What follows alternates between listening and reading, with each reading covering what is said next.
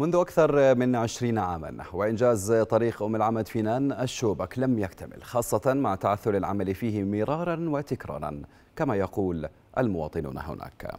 وسكان الشوبك الذين عبروا عن استغرابهم لعدم اكتمال المشروع. حتى الآن أوضحوا أن الطريق في حال إنجازها ستختصر المسافة من اللواء إلى الأغوار الجنوبية من 150 كيلومتر إلى نحو 14 كيلومترا من جهتها مديرية أشغال معان أوضحت أن العطاء لاستكمال الطريق أحيل في عام 2019 على أن يستكمل خلال عام غير أن خلافا وقع بين الوزارة والمقاول أدى إلى تعثر التنفيذ.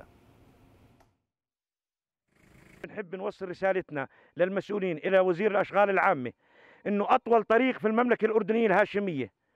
يقوم عمرها 30 سنة بطول 14 كيلو معبر للشوبك هو معبر سياحي معبر يربط لواء الشوبك بمنطقة الأغوار.